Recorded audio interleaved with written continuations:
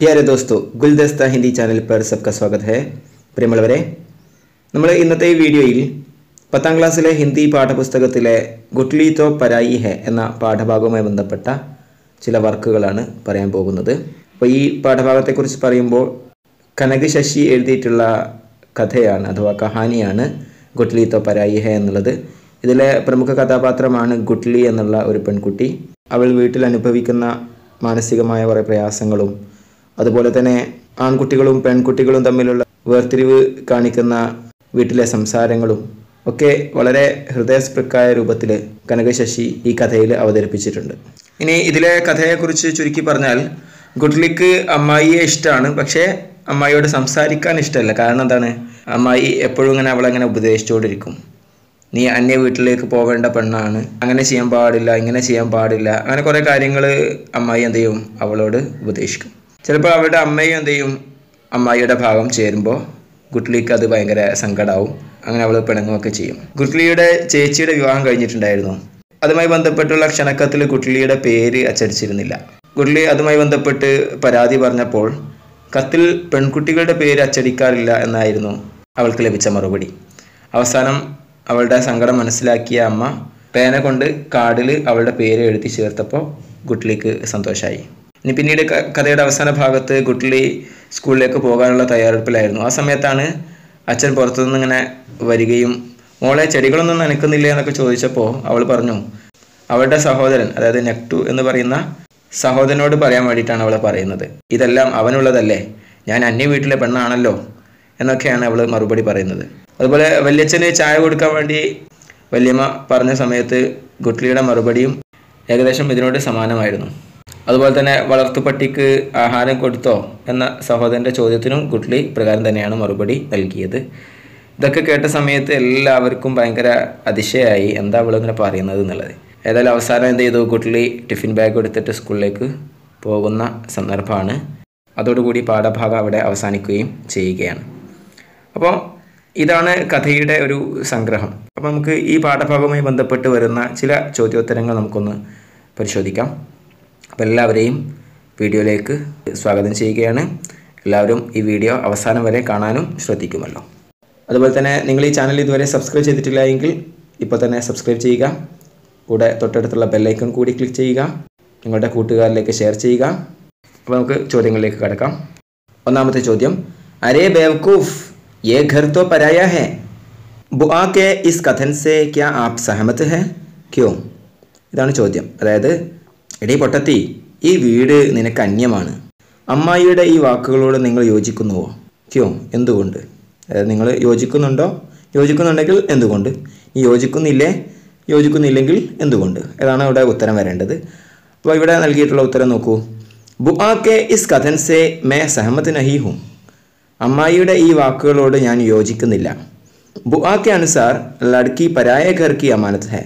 അമ്മായി പറയുന്നത് പ്രകാരം പെൺകുട്ടി അന്യ വീട്ടിൻ്റെ സൂക്ഷിപ്പ് സ്വത്താണ് അഥവാ അമാനത്താണ് സസുരാൽ അതായത് ഭർത്താവിൻ്റെ വീട് അത് തന്നെയാണ് ഉസ്ക അപ്ന ഘർ ഹെ അവളുടെ സ്വന്തം വീട് എന്നാണ് അമ്മായി പറയുന്നത് परिवार में लड़के को मिलती स्वतंत्रता प्यार और देखरेख लड़की को नहीं मिलती കുടുംബത്തിൽ ആൺകുട്ടിക്ക് ലഭിക്കുന്ന സ്വാതന്ത്ര്യവും സ്നേഹവും പരിഗണനയും ഒന്നും പെൺകുട്ടിക്ക് ലഭിക്കുന്നില്ല ലഡ്കി കെ സാത്ത് ഏസാ ഭേദ്ഭാവ് രഖന കഭി ഉചിത് നഹി ഹെ പെൺകുട്ടിയോടുള്ള ഈ ഒരു വേർതിരിവ് ഒരിക്കലും ഉചിതമല്ല।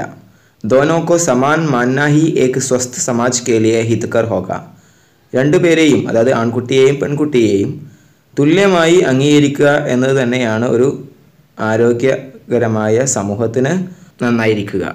അതായത് പെൺകുട്ടിയെയും ആൺകുട്ടിയെയും വീട്ടിൽ വേർതിരിച്ച് കാണുന്നത് ശരിയല്ല എന്നുള്ള അർത്ഥത്തിലാണ് ഇവിടെ മറുപടി നൽകിയിട്ടുള്ളത്.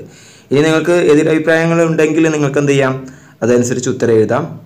ഇനി അടുത്ത ചോദ്യം നോക്കാം. സോച്തി രഹി കി യേ ഘർ ഉസ്കാ നഹി. കുട്ലിക്കോ ക്യോ ഏസ സോച്ചന പെടുത്താ ഹെ? അവളിങ്ങനെ ചിന്തിച്ചുകൊണ്ടിരുന്നു. ഈ വീട് അവളുടേതല്ല എന്ന്. ഗുഡ്ലിക്ക് എന്തുകൊണ്ടാണ് ഇങ്ങനെ ചിന്തിക്കേണ്ടി വരുന്നത്? എന്റെ ഉത്തരം നോക്കാം. ബുആാനെ ഗുഡ്ലിക്കോ പരായ ഘർ അമാനസ് ബതായാഥ അമ്മായി ഗുഡ്ലിയെ അന്യ വീട്ടിൻ്റെ അമാനത്ത് എന്നാണ് പറഞ്ഞിട്ടുണ്ടായിരുന്നത് മാ ഭി ബുആ കാ സാത്ത് ദേത്തെ ഹുയെ ഉസ്സെ ബാത്തേ കി അമ്മയും അമ്മായിയെ സപ്പോർട്ട് ചെയ്തുകൊണ്ട് അവളോട് സംസാരിച്ചു ഇസ്ലിയെ ഉസെ ऐसा सोचना पड़ा അതിനാൽ അവൾക്ക് ഇങ്ങനെ ചിന്തിക്കേണ്ടി വന്നു यूं तो बड़ी बुआ गुटली को अच्छी लगती है पर उनसे बात करना उसे कुछ खास पसंद नहीं क्यों അതായത് വല്യമ്മയെ ഗുട്ലിക്ക് ഇഷ്ടമാണ് എന്നാൽ അവരോട് സംസാരിക്കാൻ അവൾക്ക് പ്രത്യേകിച്ച് താല്പര്യമില്ല ക്യോ എന്തുകൊണ്ട്? അതിനുത്തരം നോക്കാം. ബുആ സദാ ഉപദേശ് ദേത്തി ഹെ. അമ്മായി എല്ലായ്പ്പോഴും ഉപദേശിച്ചുകൊണ്ടേയിരിക്കുന്നു.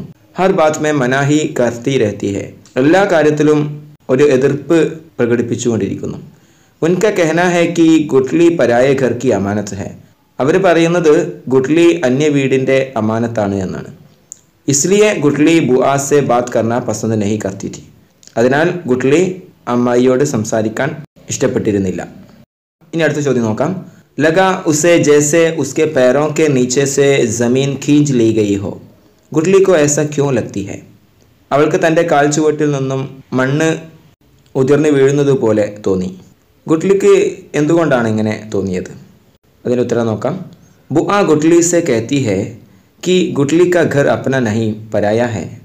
അമ്മായി ഗുഡ്ലിയോട് പറയുകയാണ് ഗുട്ലിയുടെ വീട് അത് അവളുടെ സ്വന്തം വീടല്ല അന്യ വീടാണ് എന്ന് ഉസ് സമയം വോ ദുഃഖി ഹോക്കർ അപ്പനി മാക്കി ഓർ വ്യക്തി ഹെ ആ സമയത്ത് അവൾ ദുഃഖിതയായിക്കൊണ്ട് തൻ്റെ അമ്മയുടെ നേരെ നോക്കുന്നു ലേക്കിൻ മാ ബുആക്കി ബാത്തോസെ ഹാമി ഭർത്തി ഹെ എന്നാൽ അമ്മ അമ്മായിയുടെ വാക്കുകളെ ശരിവെക്കുകയാണ് ചെയ്യുന്നത് മാക്കോ ഭി ബുആക്ക സാത്ത് ദേത്തെ ദേക്കർ ഗുട്ലിക്കോ ലഗ കി അപ്നെ പേരോ കെ നീച്ചെ സെ ജമീൻ ഖീഞ്ച് ലീ ഗയി ഹെ അമ്മയും അമ്മായിയെ സപ്പോർട്ട് ചെയ്യുന്നത് കണ്ടപ്പോൾ ഗുഡ്ലിക്ക് തോന്നി തന്റെ കാൽ ചുവട്ടിൽ നിന്ന് മണ്ണ് നീങ്ങിപ്പോകുന്നത് പോലെ.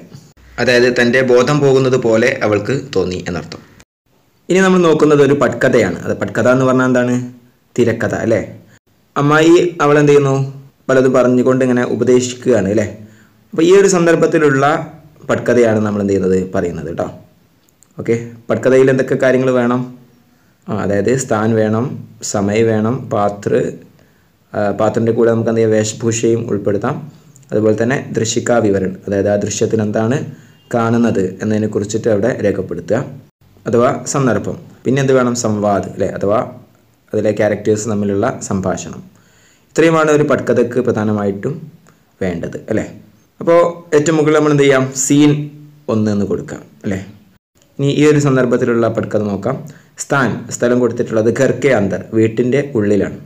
അവിടെ വെച്ചിട്ടാണല്ലോ ഈ ഒരു സംസാരം നടക്കുന്നത്. ഇനി സമയ സമയം ഷംകെ സാഠെ പാഞ്ച് ബജെ വൈകുന്നേരം അഞ്ചര മണി. പാത്ര ക്യാരക്ടേഴ്സ് ആരൊക്കെയാണ്? ഗുട്ട്ലി ഓർ ബുവ? ഗുട്ട്ലിയും അമ്മായിയും.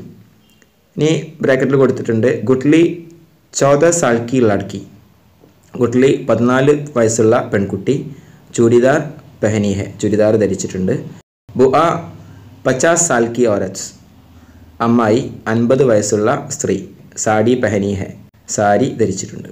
ഇതാണ് അവരുടെ ഏകദേശ വയസ്സും അതുപോലെ തന്നെ ഡ്രസ്സിങ്ങും. ഇനി ദൃശ്യിക്കാ വിവരണം. അപ്പോൾ ഈ ഒരു സന്ദർഭത്തിലെ ദൃശ്യത്തെക്കുറിച്ചുള്ള ഒരു വിവരണമാണ് ഇവിടെ പ്രതിപാദിച്ചിട്ടുള്ളത്. അതായത് ഗൊട്ട്ലി അപ്നി മർസി സെ കുച്ച് കർണെ ലഗി തോ ബുആ ഹമേഷ കി തര ഉസെ ഡാണ്ടത്തെ ഹുയെ നസിഹത്തെ ദേന ശുരു കർത്തി ഹെ.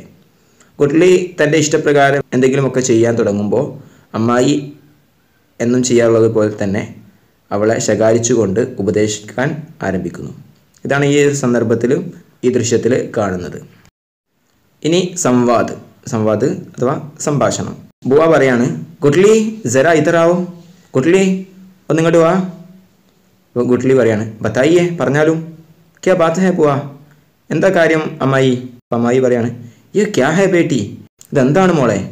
തുമേ ഏസ മത് കർണ ഹേ. നീ ഇങ്ങനൊന്നും ചെയ്യാൻ പാടില്ല. ഏസ പട്ട് മത് ബോൾന ഹേ. ഇങ്ങനെ പട്ടപട്ട എന്ന് സംസാരിക്കാൻ പാടില്ല. ധം ധം എന്നുള്ള രൂപത്തിൽ നടക്കാൻ പാടില്ല. അതായത് ശക്തിയായി നടക്കാൻ പാടില്ല എന്നർത്ഥത്തിൽ അപ്പോൾ കുട്ടിലി പറയാണ് ബുആ ആപ് ബാർ ബാർ മുജ്സെ ഏസ ക്യോ കേത്തി ഹേ? അമ്മായി നിങ്ങൾ വീണ്ടും വീണ്ടും എന്നോട് ഇങ്ങനെ പറയുന്നത് എന്തിനാണ്? അപ്പം അമ്മായി പറയാണ് അരേ തൂ ഏക്ക് ലഡ്ക്കി ഹെനാ എടി നീ ഒരു പെൺകുട്ടിയല്ലേ. അപ്പോൾ കുട്ടിലി പറയാണ് ക്യാ ലഡ്ക്കി ഹോനെ സെ കൊയ് ദോഷേ എന്താ പെൺകുട്ടിയാണെന്ന് വെച്ച് എന്തെങ്കിലും ദോഷമുണ്ടോ? അപ്പോൾ ബുവ പറയാണ് അരെ ചോരി എടി പെൺകുട്ടി ലോക് നാം തോ തേരി മാക്കോ ഹി രഖെങ്കി ആളുകളെ നിന്റെ അമ്മയെയാണ് പറയുക കഹേങ്കെ കുച്ച് സിക്കായ ഹി നഹി ആളുകൾ പറയും ഒന്നും നിനക്ക് പഠിപ്പിച്ചു തന്നിട്ടില്ല എന്ന്. എസാഹി കരോഗി ഇക്ക അപ്പനെ ഘർ ചാക്കർ ഇങ്ങനെ തന്നെ ചെയ്യോ നീ സ്വന്തം വീട്ടിൽ ചെന്നാൽ?